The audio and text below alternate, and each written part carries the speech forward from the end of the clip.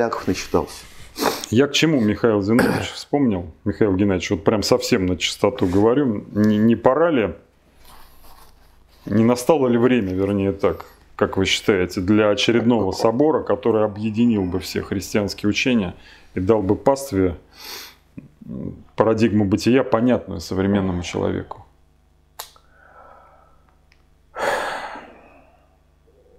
Безусловно, все периодически нуждается в реформировании. Но, во-первых, при реформировании очень часто теряется... Ребеночка выплескивается. А, да, теряется смысл.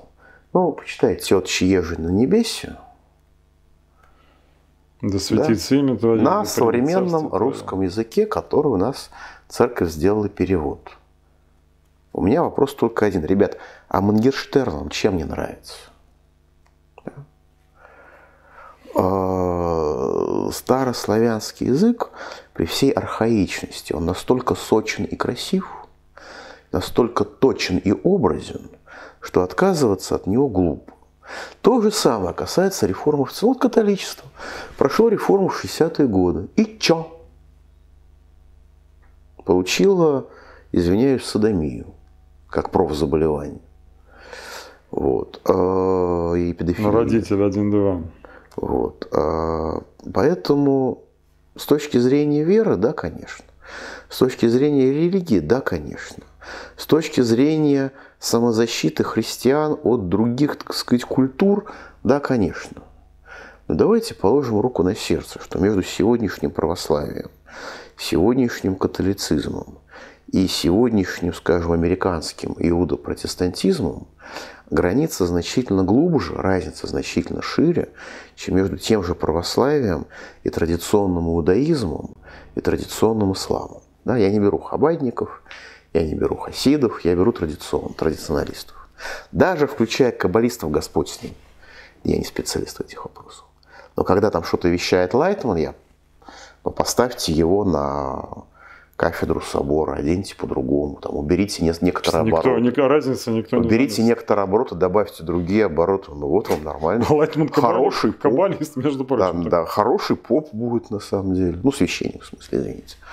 Раввин вот. как минимум неплохой. Вот, а раввин вообще идеальный, по-моему, ну, хотя не специалист в этом. Вот, так что, к сожалению, христианство объединяет разные цивилизации, которые сейчас, к сожалению, являются враждебными друг другу, объективно объективно. Поэтому идея хороша, но не получится. А так, конечно, квантовую фи... Знаете, опис... на факультете То теологии... Общая вообще планетарная теология тем более невозможно. На факультетах теологии должны изучать не Библию, должны изучать квантовую физику. Потому что Бог это тонкие энергии, ребята. Вы чё? О чем? Бог это структура мироздания. Если теолог не изучает квантовую физику и космологию, он может быть прекрасный исповедник и проповедник, но к теологии отношения не имеет. Он к теологии имеет такое же отношение, как дремучий сталинист середины 50-х годов имел к Энгельсу, и Марксу, и Ленину. И к, Сталину, и к Сталину, кстати говоря. Пожалуй, вот этот момент нашей беседы я дам в превью. Дайте. Ярко, сочно получилось. Вернемся к беседам с Богом. Цитирую собеседника лучше. Ты спроецировал на Бога роль родителя и так получил образ Бога, Бога, который судит, а затем награждает или наказывает в зависимости от того, насколько ему нравятся твои мысли и поступки. Но это упрощенный взгляд на Бога, основанный на вашей мифологии. Он не имеет никакого отношения к тому, кто я есть на самом деле. И вторая цитата. Ты забыл, что это такое, когда тебя любят безо всяких условий. Ну, первое, Опа. понятно, это, фи, фи, это Фейербах, и это, так сказать, классика психологии. А второе, да, Бог есть любовь. И это, на самом деле, самое страшное в Боге. Потому что принять в отношениях с Богом товарно-денежные отношения, я тебе три молитвы, 50 поклонов, а ты мне отпущение грехов, это понятно. А принять любовь, которая просто любовь, без всяких условий, просто потому что я такой, вот это накладывает реальный моральный груз. Нет, меня, да, меня... Вот это реально моральный груз. Меня это тяготит, меня любят, ничего за это не просят. Да. Это Это... э, Тяжелее, чем кажется. Но любит и пусть любит. Как началась Сталинградская битва, знаете?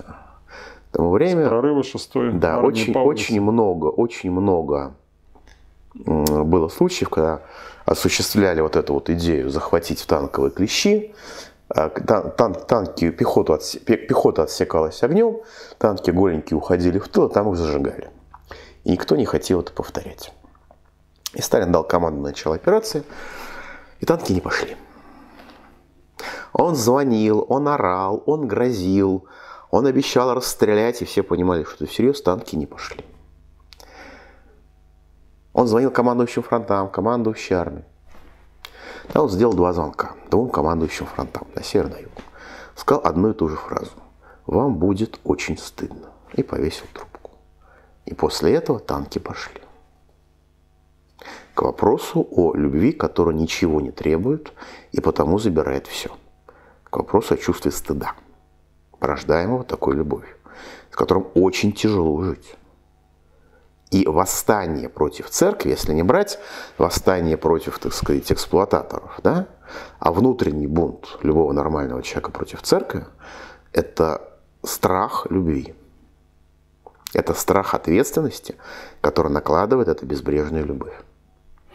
Да. Потому что вы обязаны в ней раствориться, иначе вы будете неблагодарной скотиной. Осознавать себя неблагодарной скотиной, кстати говоря, потому что если я личность, значит я должен делать что-то сам. Если я делаю что-то сам, я отрицаю эту любовь. И это и есть источник первородного греха на самом деле. Сознание личности себя самой. Это то же, что у детей с родителями. Чтобы быть хорошим сыном, нужно отвергнуть мать и отвергнуть отца.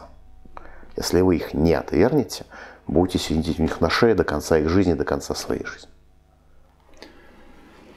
Насчет карающего Бога давайте немножечко подробно на этом моменте остановимся. Владимир Владимирович Познер э, в публичных диспутах всегда апеллирует к жестокому и карающему Богу Ветхого Завета, говоря, разве таким должен быть Бог? Но Бог в Новом Завете превратился в Бога любви. Вот эта вот эволюция Бога, она действительно имела место или это наша интерпретация? Священных текстов? Отчет может быть много гипотез. Но, во-первых, товарищ Познер, все-таки давайте не будем забывать, что, насколько я помню, это секретарь порткома агентства «Печать новости». АПН. Да, это человек, который был секретарем порткома главной пропагандистской машины Советского Союза. Как это Венчик Ерофеев говорил,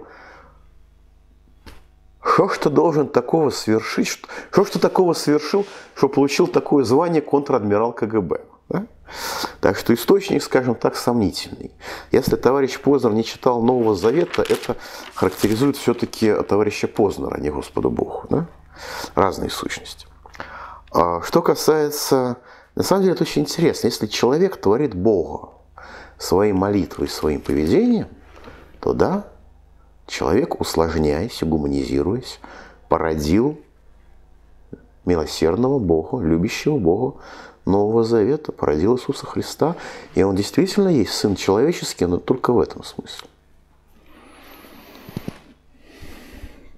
То есть мыслеформы огромного количества людей породили да. новый эгрегор, который да, отличался да, от старого? Да, да, да. А может быть по-другому, если мы говорим в категориях эгрегор? Только так. Да, эгрегор сам развивается, у него есть своя логика развития, да, конечно. И люди не просто так изменили свои мыслеформы. Интересно еще Знаете, вопрос. Диалектика, она же не только плоская, не только на Земле, она еще и над Землей, она никуда, никуда же не девается. Вот это мы, кстати, с вами говорили об n плюс 1 мерном пространстве. Все-таки, конечно, для понимания переход в следующую мерность представляет собой колоссальные, конечно, трудности. Вот представим себе, друзья, двухмерного человечка. Вот он живет, ну, грубо говоря, на плоскости. И представим себе, что на эту плоскость села муха. К ней подходит этот плоский человечек и говорит, а плоский человек видит шесть пятнышек на своей плоскости. Да, и все. Он говорит, вы кто, ребята? А эти пятнышки ему говорят, мы муха. Как, все шесть? Спрашивает человечек. Понимаете, да, почему это вот так Причем сложно? голос доносится сверху, Сверху. да. из недостижимых высот. Вот. э, В этот момент у, э, у двухмерного человека значит, может возникнуть любое количество теорий. Да, и религия, кстати говоря, это способ признания чудес. То есть признание того, что на нас влияет, а мы этого не понимаем.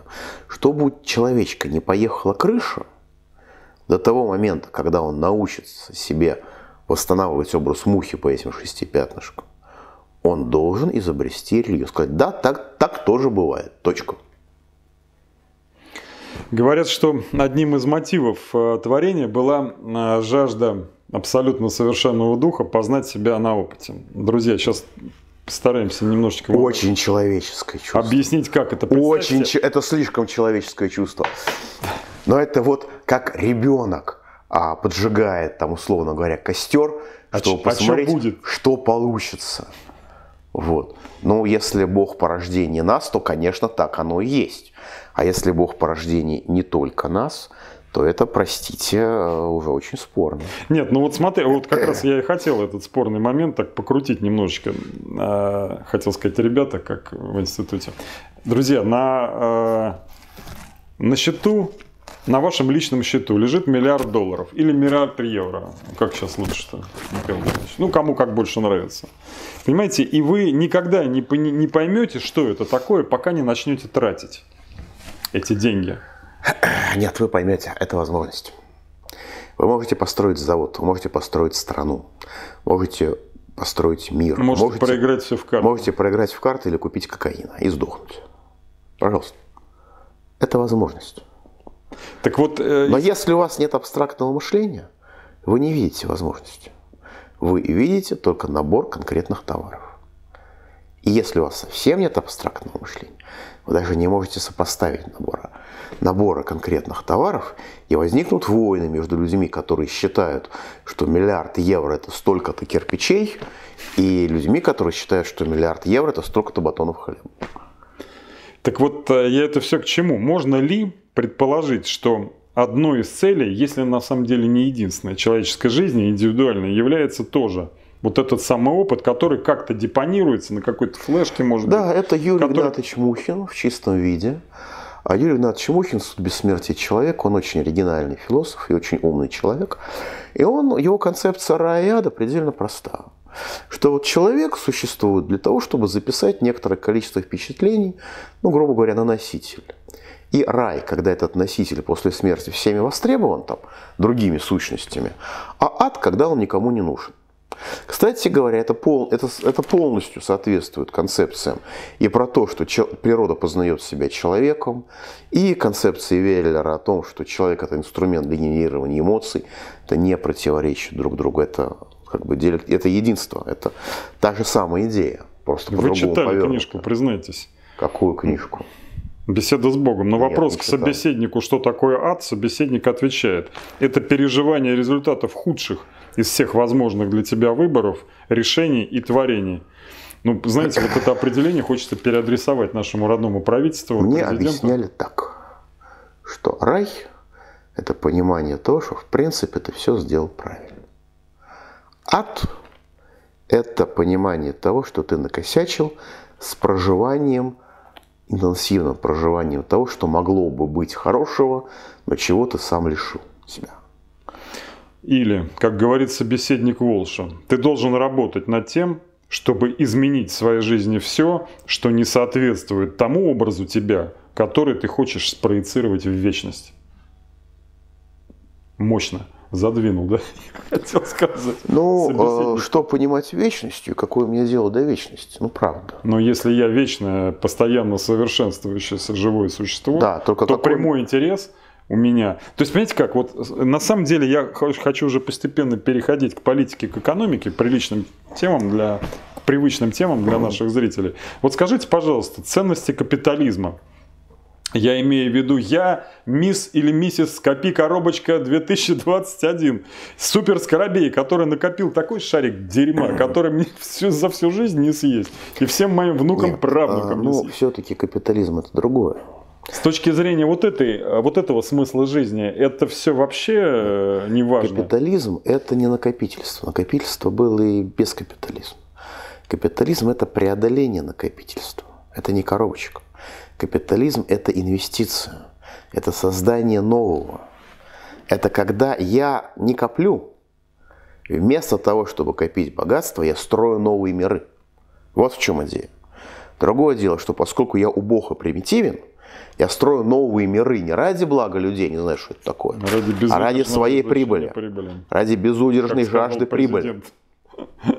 На встрече с профсоюзами Все, вырвалось. Не, глумитесь, не глумитесь над президентом. Ни в коем случае. Как мне сказали, строго преследуется. Как мне сказали э, при просмотре моего МРТ, о, блин, прикольно. Я говорю, что прикольного-то? Вот ты с таким мозгом не только ходишь, но еще и разговариваешь. Вот. Же... Но это современные технологии меня с того света вытянули на самом деле. Но не суть. Возвращаясь, возвращаясь. Знаете, что значит вечность? И какое мне дело до вечности? Какое мне дело до вечности? Я в ней существую. Как, ну, как, какое Ой. дело? Это мой дом. Я существую. Мой вечный дом. Отлично. Отлично. Но, знаете, он вечный, он бесконечный. Поэтому его нельзя улучшить. Это страшная ловушка. Это самое жуткое одиночество. Самое жуткое отчаяние. Бесконечность нельзя улучшить. Можно улучшить замкнутое пространство, ограниченное пространство. Страну, мир, квартиру. Это можно улучшить. Невозможно улучшить бесконечность, она бесконечна. Да?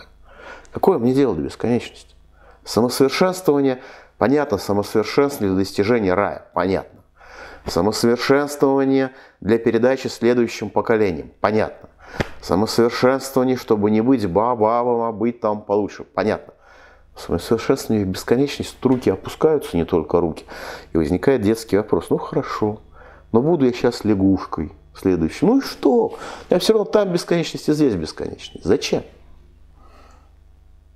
Не знаю. Ведущие люди мне говорили, что, ну, то есть благая весть от Иисуса была в том, что смерти нет. Помните, мы ели сладкие весенние бакуроты? Да, да, да. да. А смерть-то на самом деле есть. Это деградация духа, как говорят ведущие люди, до состояния, когда он не пригоден к употреблению. И Господь Бог, как любой прилежный садовник, он все-таки выдергивает сорняки и уничтожает их. То есть смерть все-таки надо признать возможно при определенных сценариях, и именно это и повод, и причина не деградировать. Как только мы начинаем мыслить в категории, ну, во-первых, не деградировать слишком сильно, это первое. А во-вторых, как только мы начинаем мыслить категориями Григора, мы должны понимать, что, соответственно, есть что-то, что этим Григором отбрасывается. И, вероятно, есть что-то, что отбрасывается всеми Григорами. Да? Вот. Так что да, конечно, смерти нет в бытовом смысле слова. А в духовном А в духовном она, конечно, есть. Она, конечно, есть. И все религии направлены на то, чтобы, помимо политических задач, чтобы не дать этому случиться. А как так получилось, что социализм и вообще э, социально справедливое общество, которым мы оба с вами симпатизируем, Почему его официальная идеология – это материализм? Мне кажется, она уродует левую идею вообще и социализм в частности, делает его так, таким немножко. Вы знаете, это такая же отрыжка конкретной политической ситуации, возведенная в абсолют, как ленинская национальная политика. Почему Ленин отверг, отверг автономизм Сталина?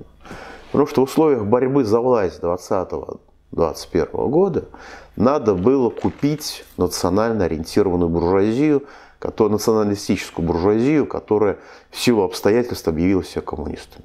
Их нужно было купить. Сталинский автономизм, который был рассчитан на стратегическую перспективу, к этому не подходил. Этому подходила модель Британского союза колониальная. Поэтому Ленин взял, но из тактического приема, от которого Ленин освободился бы через два года, из него превратили, его превратили в стратегию. На этом все кончилось. То же самое материализм. Большакова вообще не интересовала церковь. В принципе, ребята, отвяжитесь от нас. Никаких проблем нет. Но когда священники, когда православная церковь началась, начала войну против отсутствия эксплуатации, ну извините. А вторая волна, это действительно, это были э, беспоповцы, которые огромной волной, потому что они были основой фабричных рабочих, они пришли в революцию, а их ненависть к РПЦ, она была из 17 века.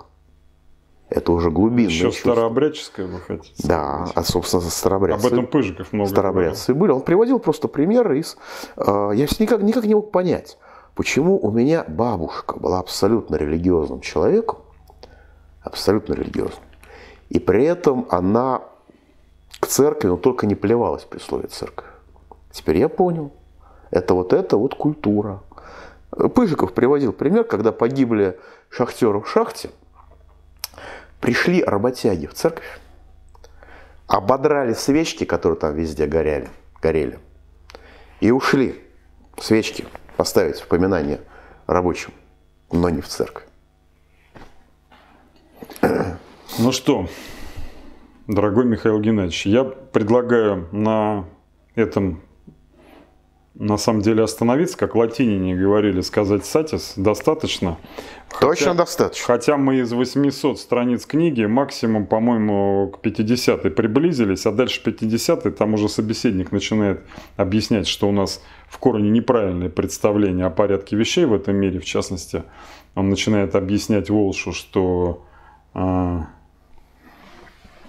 он не, как это сказать, он не так плохо относится к Адольфу Гитлеру, как это могли бы мы предполагать. Но я думаю, давайте дождемся реакции зрителя. Если там э, хотя бы несколько отзывов будет, ребята, продолжайте, мы продолжим. А в завершении хочу вам задать вопрос из разряда «можете не отвечать». Он такого немножечко личного свойства. Вот в этом потрясающем красоты творения вот этого самого собеседника, о котором мы с вами сегодня говорили. Ваше индивидуальное жизненное задание, каково, как вы его для себя определяете? А это вопрос не ко мне. Это не мое дело. Мое дело жить и выполнять свои обязанности, как я их понимаю. Хочешь насмешить Богу, расскажи ему о своих планах, и наоборот, между прочим, точно так же. А, Я специалист по планированию народного хозяйства. Как выполняются, как вообще работают планы, я знаю в деталях. И а, ну, во-первых, у меня не такая гордыня, чтобы думать, что там на меня есть какие-то персональные планы. А во-вторых, а, я думаю, что ну, как бы нужно стараться видеть как можно больше, стараться сделать как можно больше, а там, что называется, история, если она будет, рассудит. Я не думаю, что есть абсолютное предназначение. И я не думаю, что за редчайшими исключениями людям это предназначение открывается. Ну, скажем, скажем так, моя вероятность дожития до сегодняшнего возраста, учитывая мои диагнозы, составляет минимум, менее 10%. Это не шутка, друзья. А, это не случай, шутка, это если совершенно не шутка. Это совершенно не шутка, я профессиональный пациент и э, знаю не только веселую часть дела, что вот он я, и у меня все хорошо, но знаю и другую часть дела. Вот. Вероятность менее 10%, почему так сильно менее? Это может быть признак какой-то там избранности. Отлично. Но простите, пожалуйста, а если у вас вероятность события 5%, это может быть просто теория вероятности. Ну, один раз я попал в 30%. Другой раз я попал в 70%. Третий раз я попал в 15%. Не потому, что я такой хороший. Не потому, что на меня такие планы. Потому что кто-то должен был в них попасть. Все. Да? Это известная шуточка. Почему дельфины всегда толкают утопающих пловцов к берегу, знаете? А Это вообще подтвержденные? подтвержденные? Абсолютно. Нет ни одного свидетельства пловца, утопающего, которого дельфин толкал от берега.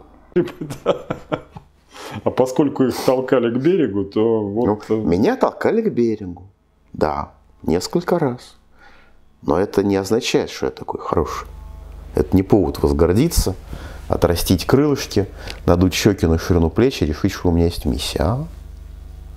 Вы знаете, если так в сухом остатке... Вы знаете, единственное, что мне действительно очень сильно нравится в официальной православной доктрине, помимо ее социальной части, это идея смирения. Нужно делать то, нужно делать а, боль, как можно больше, и желательно больше того, что вы можете себе вообразить, а там разберемся.